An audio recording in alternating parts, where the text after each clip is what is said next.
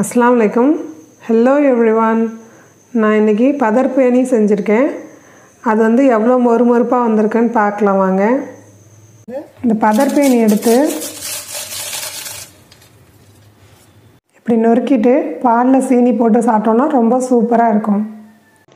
இதுவரை என்னோடய சேனலை சப்ஸ்கிரைப் பண்ணாதவங்க கீழே இருக்க ரெட் பட்டனை டச் பண்ணி சப்ஸ்கிரைப் பண்ணிவிடுங்க பக்கத்தில் இருக்க பெல் ஐக்கானையும் ப்ரெஸ் பண்ணிவிடுங்க அப்போ தான் நான் புதுசாக அப்லோட் பண்ணுற வீடியோஸை நீங்கள் மிஸ் பண்ணாமல் பார்க்கலாம். பதர்பேணி செய்கிறதுக்கு அரை கிலோ மைதா எடுத்துக்கலாம். ஒரு டீஸ்பூன் பேக்கிங் சோடா ஒரு டீஸ்பூன் உப்புத்தூள் ரெண்டு டேபிள் ஸ்பூன் பால் பவுடர் எடுத்துக்கலாம். இப்போ பேக்கிங் சோடா போட்டுடலாம். உப்புத்தூள் சேர்த்துடலாம். அதுக்கப்புறம் பால் பவுடரையும் சேர்த்து நல்லா ட்ரையாக மிக்ஸ் பண்ணிக்கலாம். ஈவனாக மிக்ஸ் பண்ணதுக்கப்புறம் கொஞ்சம் கொஞ்சமாக தண்ணி சேர்த்து நம்ம பரோட்டா மாவு குழைக்கிற மாதிரி குழச்சி எடுத்துக்கலாம்.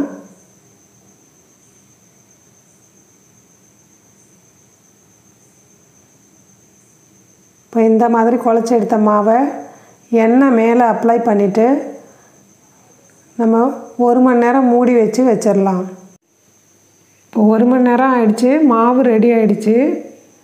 இந்த மாதிரி பிராண்டட் நெய்யாக எடுத்துகிட்டு அதில் ரெண்டு ஸ்பூன் கார்ன்ஃப்ளவர் போட்டுக்கலாம். போட்டு நல்லா மிக்ஸ் பண்ணி எடுத்துக்கலாம். இப்போ இந்த மாவை கொஞ்சம் நல்லா பிணைஞ்சிட்டு அதுக்கப்புறம் நம்ம உருண்டை போட்டு வச்சுக்கலாம். இப்போ அரை கிலோ மாவுக்கு எட்டுலேருந்து பத்து உருண்டை போட்டுக்கலாம் நம்ம.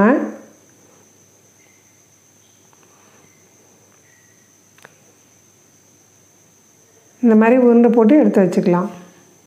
இப்போ ஒரு உருண்டை எடுத்துகிட்டு கொஞ்சமாக மேலே எண்ணெய் அப்ளை பண்ணிக்கிறோம். முடிஞ்ச அளவு கொஞ்சம் தின்னாக நல்லா தேய்ச்சி எடுத்துட்டு கொஞ்சம் அகலமாக தேய்ச்சி எடுத்ததுக்கப்புறம் பரோட்டாக்கு வீசுகிற மாதிரி நம்ம வீச ஆரம்பிச்சிடலாம். எவ்வளோக்கு எவ்வளோ மெல்லிஸாக நம்ம வீசுகிறோமோ அவ்வளோக்கு எவ்வளோ பதர்பேணி வந்து மொறுமொறுப்பாக இருக்கும்.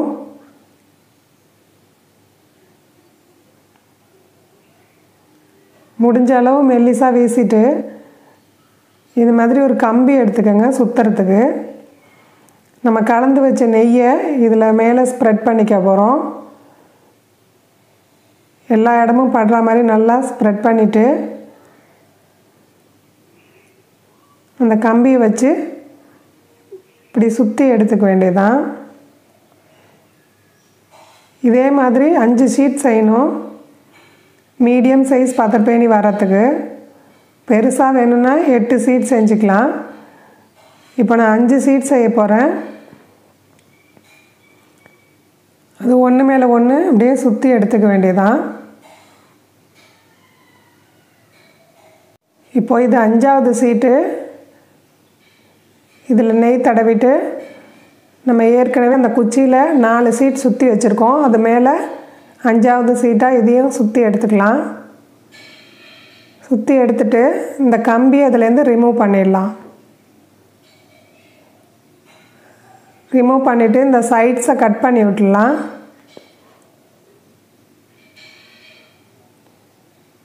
இப்போ ரெண்டு இன்ச்சுக்கு பீஸ் போட்டுடலாம் இதில். இப்போ அரை கிலோ மாவு எடுத்தோம்னா இதே மாதிரி இன்னொரு பங்கு வரும் பதர்பேணி செய்கிறதுக்கு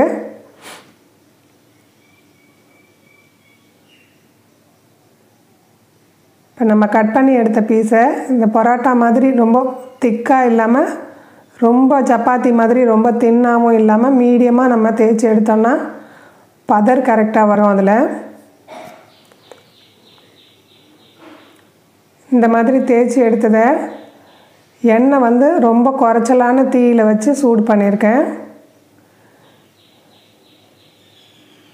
நம்ம செஞ்சு எடுத்த பதர்பேனியை இதில் போட்டு ஃப்ரை பண்ணி எடுத்துக்க வேண்டியதுதான். இப்போ எண்ணெயில் போட்டோன்னா மேலே அப்படியே உப்பி மேலே வருது பாருங்கள் நம்ம தீ கொஞ்சம் அதிகமாக வச்சு ஃப்ரை பண்ணி எடுத்தோம்னா மேலே மட்டும் செவக்கும் உள்ளே சரியாக குக் ஆகாது.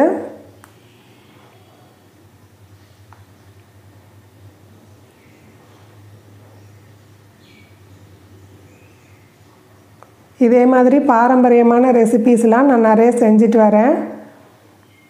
அதை இந்த வீடியோவோட டிஸ்கிரிப்ஷன் பாக்ஸில் கீழே கொடுத்துருக்கேன் லிங்க்கு அதையும் செக் பண்ணிக்கோங்க. இதே மாதிரி டேஸ்ட் உள்ள டோப்டஹான் அதில் இருக்குது பூரியா கொலா பணியாரம் சீனி வடை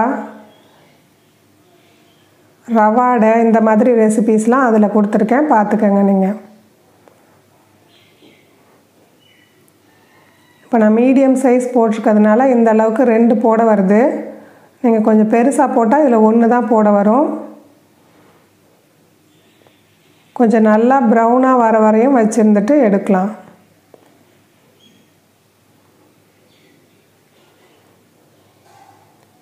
இப்போ எண்ணெயை வடிகட்டி எடுத்துடலாம் நல்லா.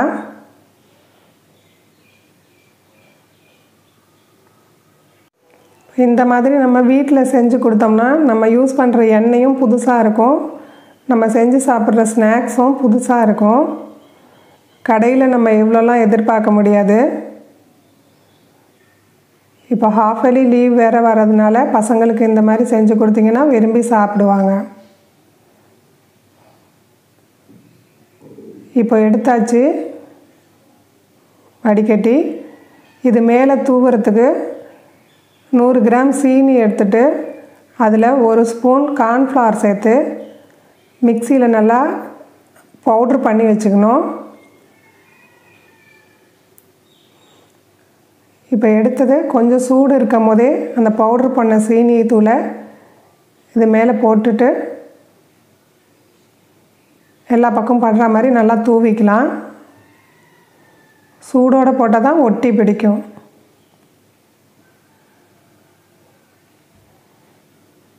அவ்வளோதான் பதர்பேனி ரெடி ஆகிடுச்சு எப்படி இருக்குன்னு செஞ்சு பார்த்துட்டு ஃபீட்பேக் பண்ணுங்கள் தேங்க்ஸ் ஃபார் வாட்சிங்